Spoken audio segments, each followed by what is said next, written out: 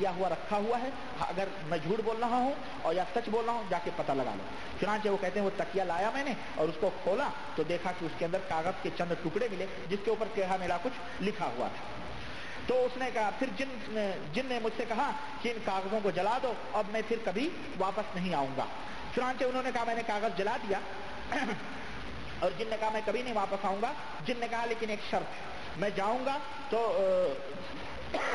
मैं इस औरत से मुसाफा करना चाहता हूँ। मैं निकलूँगा। अभी ये शोहर से बात हो रही है। आलिम के पास तो नहीं। ये शोहर वाकया बयान कर रहा है कि मेरे साथ ये वाकया पेश आया। हाँ? कि उसने कहा कि मैं इससे मुसाफा करना चाहता हूँ। तो शोहर ने कहा, ठीक है, कर लो। इसने कहा, मैं, शोहर ने कहा, मैंने कहा, कर लो, कोई बात तो फजा में औरत ने हाथ बढ़ाया और वो फिर चला गया। जैसे वो किसी से मुसाफा करें तो ये जो शेख थे, जो जिनके पास वो आया था, इन्होंने कहा कि मैंने उससे, आदमी से कहा, तुमने बहुत बड़ी गलती की। तुमने उसको क्यों मुसाफा करने का, की इजाज़त दी? क्योंकि हराम है ये। वो गैर मरद था। तुम गैर मरद से अपनी बीवी के मुसाफा करने की तुमने इजाज़त कह देगी ये तो तुमने बहुत भारी, गलत काम किया। नबी करीम वसल्लम ने गैर मरद से मुसाफा करने से मना फरमाया औरतों को। चुनाचे, कहने लगा कि उसके एक हफ़्ते के बाद फिर वो औरत बीमार हो गई। एक हफ़्ते के बाद वो औरत फिर बीमार हो गई और वो शख्स अपनी बीवी को लेकर के, ये शेख कह रहे मेरे पास आ गया जैसे ही मैंने औज बिल कहते हैं, जैसे ही मैंने औज बिल्ला पढ़ा। पूरी दुआएँ नहीं, कहते हैं, जैसे ही मैंने औज बिल्ला पढ़ा, फ़ौरन वो जिन्न हाजिर हो गया और हमारी गुफ्तगु उस जिन्न से शुरू हो गई। मैंने कहा, झूठे, तुमने वादा किया था कि दोबारा नहीं आओगे और फिर तुम वापस लौट आए? तो जिन्न ने कहा कि, देखिए, मैं सब कुछ आपको बता दूँगा बस शर्त यह है कि आप मुझे मारे नहीं। मैं बता दूँगा, लेकिन आप मुझे मारना नहीं। मैंने कहा, ठीक है, तुम बतलाओ। तो जिन ने कहा कि मैंने इन्हें झूठ कहा था कि मैं चला जाऊँगा। ठीक मैंने इनसे झूठ कहा था कि मैं चला जाऊँगा। और ये भी मैंने इनसे झूठ बोला था कि तकिए के नीचे जादू किया हुआ क्योंकि वो तकिए के नीचे टेढ़ी मेरी लकीरें मैंने ही लिख करके कागज़ के पुर्जे डाल दिए थे, ताकि ये मेरी बात पे यकीन कर लें कि मैं सच बोल रहा हूँ, मैं जा रहा हूँ। देखें किस तरह खबीज लोग धोखा देते हैं जिन है ना? चुनाव के आखिरकार मैंने कहा कि आखिर मैं क्या कर सकता अच्छा खैर, जा। तो मैंने उससे कहा कि तुम इसके साथ धोखा तुमने दिया है, अब तुम इसको छोड़ करके जाओ। तो वो कहता है, मैं क्या कर सकता हूँ? मैं कुछ नहीं कर सकता हूँ, मैं मजबूर हूँ। मुझे जादू के ज़रिए इस औरत में दाखिल किया गया। अब मैं कैसे निकलूं? मैं नहीं निकल सकता। मैंने कहा, तुम तुम ये बताओ, तुम्हारा दीन क्या है? उसने कहा, मैं मुसलमान हूँ। तो कहने लगा तो शेख ने कहा, मैंने कहा, कि तुम मुसलमान हो, और तुम मुसलमान के लिए जायज़ नहीं है कि वो किसी जादूगर के लिए काम करे। इसलिए कि ये हराम है। जादू इस्लाम में हराम है, और तुम मुसलमान हो, तुम्हारे लिए हलाल नहीं और ये गुनाह कबीरा है। तो शेख ने कहा कि मैंने उससे कहा, क्या तुम जन्नत चाहते हो? जिन ने कहा हाँ मैं जन्नत चाहता हूँ। तो मैंने कहा कि फिर जादूगर को छोड़ दो और मुसलमानों में शामिल हो जाओ और अल्लाह ताला की इबादत करो, जन्नत में चले जाओगे। इसलिए कि जादूगरी का काम दुनिया में, बदबख्ती और आखरत में जहन्नम में जाने का नतीजा अंजाम है वो। तो जिन ने कहा, यह कैसे हो सकता है कि मैं इसको छोड़ दूँ? क्योंकि जादूगर के आगे मैं बेबस हूँ। मैं जादूगर के आगे बेबस हूँ। जादूगर ने मुझे मजबूरन इसके अंदर दाखिल किया है। मैंने कहा हाँ ये सब इसका, उसका गलबा और तुम्हारी बेबसी और तुम्हारे ये गुनाहों की वजह से वो तुम्हारे ऊपर गलबा पाया है। तुम मुसलमान हो, तुम मुसलमान हो, अल्लाह से तौबा करो, इबादत करो तो जादूगर ऑटोमेटिकली तुम्हारे सामने मजबूर हो जाएगा। मजबूर हो जाएगा। चुनाचे जिन ने कहा अच्छा मैं तोबा करता हूँ और इस औरत से निकल जाता हूँ। फिर उसके बाद मैं हरगिज वापस नहीं आऊँगा। कहते हैं कि फिर वो तोबा करके निकल गया और फिर वो दोबारा वापस नहीं आया। और अल्हम्दुलिल्लाह, तमाम तारीखों का मालिक सिर्फ़ अल्लाह ताला है और नफा नुकसान सिर्फ़ अल्लाह के हाथ में है। इसी तरह से कहते हैं कि एक औरत थी, अपने शोहर से नफरत करती थी और इस तरह से अचानक थोड़े अरसे में उस औरत यानी नफरत करने लगी, भी शादी ब्याह हुई थी। तो चुनाचे कहने लगे कि वो मेरे पास लाए, लाई गई और उस औरत को मैंने कुरान की कुछ आयतें सुनाई, जिसके बाद वो औरत बेहोश हो गई और उसके साथ ही जिन्नात हाजिर हुआ और मेरी गुफ्तगु शुरू हुई। मैंने मैंने कहा कि तुमसे इस औरत, तुमने इस औरत को क्यों पकड़ा? तो जिन ने जवाब दिया कि मैं मुसलमान हूँ तो मैंने कहा कि तुमने इस औरत को क्यों पकड़ा? तो जिन ने कहा कि मुझे जादू के ज़रिए इसमें दाखिल किया गया है और फला औरत ने इस पर जादू किया है और जादू करने के बाद इस जादू को इतर की इतर की एक शीशी में रख दिया गया है। और जादू करने के बाद उस और इस औरत को और मैं इस औरत का एक अरसे तक पीछा करता रहा हूँ।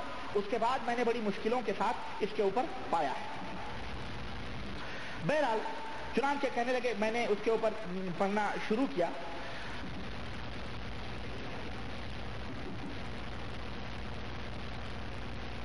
तो शेख कह रहे हैं ये कि जब मैंने उसके ऊपर पढ़ना शुरू किया तो वो जिन्न चिल्लाने लगा। और जिन्न ने बतलाया कि हम बाहर रहते हैं, ये हमें ज़्यादा आराम है। इसमें बनस्बत किसी इंसान में दाखिल होने की। हम जब किसी इंसान में दाखिल हो जाते हैं तो ये हमारे लिए जहन्नम होता है। बड़ा मुश्किल वक्त होता है जब हम किसी इंसान में रहते हैं। तो शेख ने पूछा, क्यों? उसने कहा, इसलिए कि ये लोग दुआएँ पढ़ते रहते हैं। जिन दुआओं की वजह से हमें बड़ी तकलीफ़ होती रहती है। इसलिए हम बड़ी मुश्किलों के साथ इनके साथ ज़िंदगी गुजारते हैं और ज़बरदस्ती हमें इनके अंदर रखा जाता है। तो बहरहाल मैंने उससे कहा कि ये औरत बेचारी जो है, इसको छोड़ दो और तुम अल्लाह ताला की फरमा बरदारी करो, इस औरत से निकल जाओ। जिन्हें ने कहा कि शर्त यह है कि इसका शोहर दूसरी बीवी को तलाक दे दे। इसका शोहर दूसरी बीवी, गोया उस शोहर के बाद दो बीवियाँ थी। तो पहली बीवी ने करवाया होगा कहीं ना कहीं जादू। कहा, इसका ये दूसरी बीवी को तलाक दे दे तो मैं इससे निकल जाऊँगा। अब ये जादू उस शोहर के ऊपर, उस दूसरी औरत के ऊपर करवाया होगा किसी ने?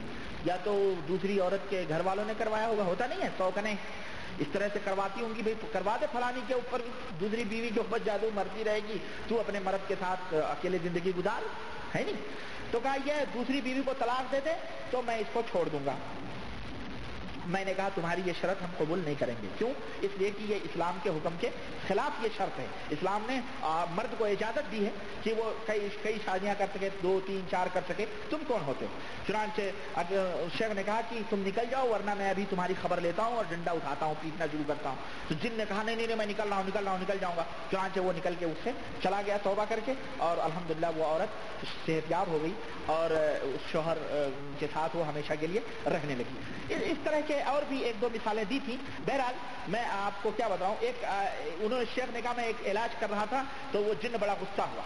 उस जिन्न ने कहा कि, मैं इसको छोड़ के तुमने दाखिल होना चाहता हूँ।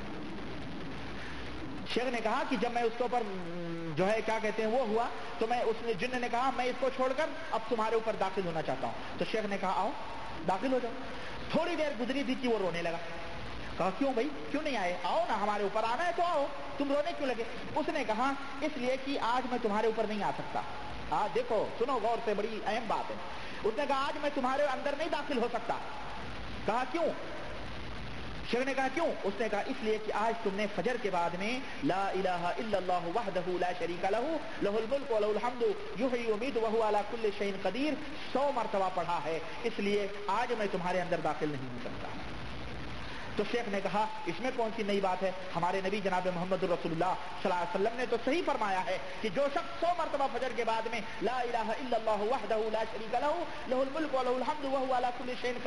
सौ मरतबा पढ़ ले तो उसके ऊपर ना जिन्न असर कर सकता है, ना कोई जादू असर कर सकता है, ना उसके ऊपर कोई जहर असर कर सकता है। ये तो हमारे नबी की ज़िंदा मिसाल है, सच्चाई की।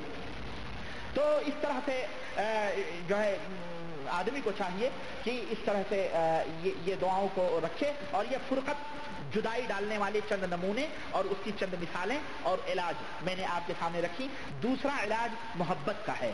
मोहब्बत डालने मोहब्बत का जादू और फिर आ, मर्दों से औरतों को दूर रहने का जादू यानी वो बाँध देते हैं खबीज जिन रुकावट बन जाते हैं, मियाँ बीवी मिल नहीं सकते, हम बिस्तरी नहीं कर सकते। इस तरह के जो जादू हैं इन ताला इनका इलाज मैं अगले दर्स में बताने की कोशिश करूँगा। वक्त ज़्यादा हो गया है और अल्लाह ताला से दुआ करते हैं कि अल्लाह ताला हमें और आपको नेक अमल करने की तोफ़ी अदा फरमाए और किताब सुन्नत पर चलने की तोफ़ी अदा फरमाए। आमीन या रब्बल आलमीन। अला नबीना मोहम्मद वाला आलिहि व सहबी अजमईन वसलाम वरहमतुल्लाह